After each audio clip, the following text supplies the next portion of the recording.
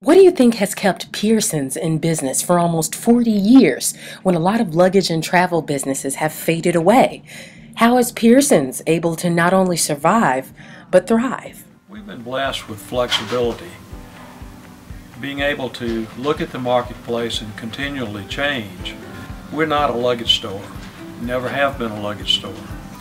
We're a luggage, gift, travel agency, you name it, we have it. If consumer needs the product, we try to carry the product line from, uh, in the old days, when I first went in business, we were one of the first people in town to sell cellular phones. The reality is that we've continually changed with time and we're not just a luggage store. Luggage stores are dead. They're dying across the country.